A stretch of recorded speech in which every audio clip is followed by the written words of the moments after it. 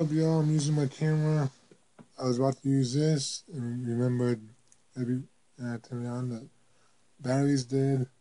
So I'm using my phone, going over my old videos. Some of them I wrote the wrong date.